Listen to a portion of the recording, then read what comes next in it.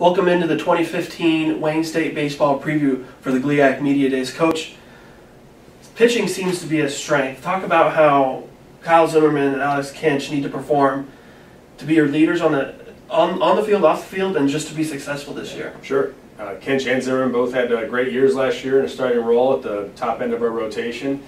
Uh, picked up a lot of experience, and uh, we need them to continue to build with that momentum going into this year. Uh, not only that, uh, some other guys on the pitching staff, Brandon Hall, Chris Horvath, Tyler Thompson, uh, some of the new guys uh, like Toby, Conti needs to step up this year now, and uh, but definitely the pitching staff, you got to be good on the mound. Mhm. And uh, depth-wise, guys need to buy into the roles, whether they're a starter, uh, a middle of the game reliever, maybe a situational uh, pitcher out of the bullpen, or our closer potentially. Like uh, Jeff Sorensen had a good year last year out of the bullpen. Uh, uh, Point four six ERA. need Yeah. him to come in and do some big things out of the bullpen as well. But everyone's got to buy into the role on the mound and uh, on and off the field, the way they prepare and practice and uh, the way they go after competition is going to be key for us. Now those two guys, along with a host of other people, helped your team win a program record 36 wins last year. Um, is there a fear of letdown, or what needs to happen um, to play at that level or exceed it to, to achieve your goals? Uh, It's a great question. I think every year uh, presents challenges and opportunities. Uh, so obviously we got to replace uh, some key people that uh, graduated and moved on. We had some really good catching uh, depth last year. Now we got some new catchers behind the plate. Uh, not a lot of experience back there, but guys that have been working hard in practice.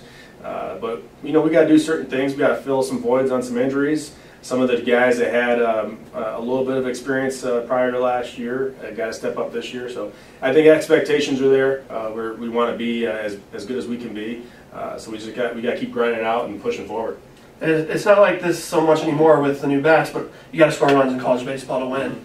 Talk about who you'll look to offensively to, to get those runs across. Sure. Well, we mentioned Zimmerman already. Uh, defensively on the mound, uh, we're looking for him to continue his offensive strengths with us uh, in the batter's box. But people like Griffin Harms, who did some special things last year, uh, mid to late year of the season. Uh, people like Cole Clifton that we talked about prior, but a lot of other guys in the mix as well. Uh, Some Mhm. new guys, some guys that are returning. I think collectively as a whole, we got to do it from the top to the bottom in our lineup, uh, off the bench and pinch hit roles, run the base as well. Offensively, we got to do a lot of things. entering your seventh season as a head coach, obviously much longer as a part of a coaching staff and, and around the game. How has your philosophy changed uh, through the years, if, if at all? Uh, I, I've stuck pretty close to the things that uh, we did in the first year that I became head coach, and even prior to that as an assistant coach here. Uh, we want to really focus on graduating and winning, a high level academically and uh, athletically, getting the most out of our ability.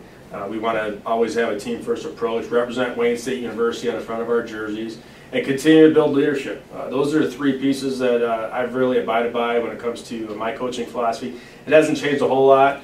Uh, some things I might do a little bit different here and there.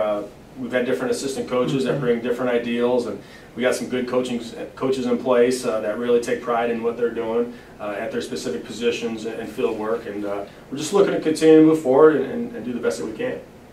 There's some expectations. Uh, you've built a program where every season you're you're battling for GLIACs. You're in the you're in the preseason discussion, uh, top 25. How do you temper those expectations, and how do you uh, get people going in the right direction to in the in setting goals for your for your program? Uh, I think we try to keep things as simple as we can. Uh, I think people have an idea uh, of what our goals are within the department and our program. Uh, but we gotta just keep it simple. I mean, we gotta focus on each day, each pitch, Mhm. uh, having the best practice we can, uh, having the best team meetings that we can, and just getting ready to play that next game. Not so much in 50 games from now, but just Yeah. staying right in that course and staying consistent. Baseball is a very difficult sport. It's a game of failure. Everyone knows that. Uh, so we got to find a way to keep that even keel and just get the most of our, our, ourselves mentally and physically. All right, thanks for the time, Yeah, no problem. Thanks for watching this preview of the 2015 season. Be sure to follow along with baseball as they open non-conference play towards the end of February.